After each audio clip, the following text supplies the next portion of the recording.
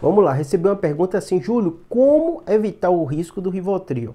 Normalmente, né, quem pergunta isso, eu tenho vi uma playlist aqui só de medicação, né? E muita gente pergunta isso, ah, mas eu uso remédio, é, eu vi que tem risco e tal, o que é que eu faço? Né? Primeira coisa, você entender o seguinte, todo remédio é aprovado, ele é estudado, né? E obviamente a gente tem efeitos colaterais sem risco. Então o Rivotril é um remédio muito utilizado no mundo inteiro, inclusive do Brasil. O que acontece, vocês veem muito médico, muita gente fica preocupada com isso, porque toda medicação ele tem os seus riscos, né? No caso do Rivotril, e é um remédio que funciona muito bem, eu prescrevo, a maioria dos médicos prescreve, é um remédio de uso corriqueiro, um dos mais prescritos, né? Até em hospital a gente utiliza tudo isso, né?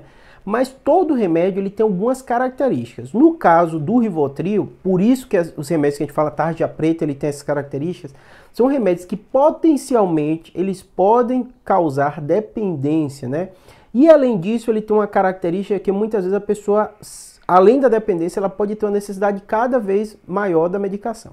Quando a gente fala isso, não significa que todo mundo vai ter e não significa que é errado o uso do remédio, nada disso, né?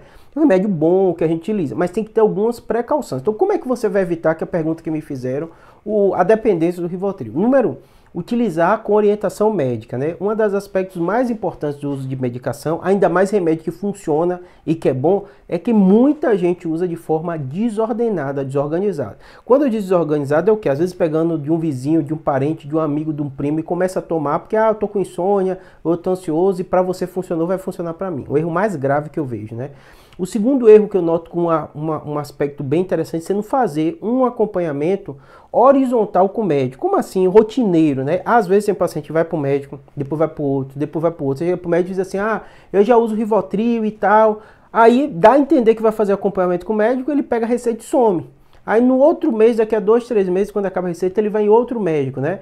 Eu sei que às vezes tem pessoas que são usuários do Sistema Único de Saúde, do SUS, às vezes reclamam essa dificuldade do acesso ao médico, mas sempre o ideal é você ter aquele médico que te acompanha. Medicina da família hoje, o Brasil tem uma distribuição relativamente boa, então procure o um profissional que te acompanhe e saiba como você está tomando. E além disso, o terceiro aspecto mais interessante é você perceber o seguinte: são remédios que de um modo geral a gente vai prescrever para usos periódicos. Júlio, tem paciente que usa por muitos anos? Tem. Tem paciente que pode usar por, por muito tempo você às vezes prescreve? Tem. Mas você tem que ter esses cuidados. Sempre o ideal é você ir na raiz do problema. Ah, tem transtorno de ansiedade. Ele vai tratar o transtorno de ansiedade dele com o psiquiatra, né? Ou, ou com médico seja habilitado para isso, né? Não, ele está passando por um problema. Vamos tentar resolver esse problema. Às vezes um psicólogo ajuda, né? Uma terapia, uma série de coisas. Não, é a insônia porque ele tem a apneia do sono. Ele vai ter que tratar essa apneia do sono. Então, toda vez que a gente falou de insônia, ou de ansiedade, ou dificuldade para dormir, ela tem uma raiz, um problema causa. O remédio ele tira o sintoma. Então você vai se sentir bem com o remédio. A gente sabe disso. Você está com sono, toma ele, você vai sentir sono. Mas se você deixar para lá o problema raiz, o que está causando aquilo, você não vai resolver. Então esse também é um problema grave de quem muitas vezes faz o, o uso do remédio e acaba criando a dependência, criando um vício dele, porque não faz acompanhamento. Então assim, entenda. Se você utiliza, seu médico prescrever, é um remédio seguro, um remédio que a gente usa no mundo todo, não se preocupe quanto a isso. O alerta que a maioria dos médicos faz, eu tenho um vídeo aqui falando e tal, é justamente para essas pessoas que às vezes fazem de forma desordenada. Para vocês terem ideia, o Brasil é um dos maiores consumidores do mundo, fica quase empatado ali com os Estados Unidos dessas drogas. E a gente, como brasileiro, a gente sabe bem, muitas vezes tem esse vizinho passa, um parente passa, um amigo passa.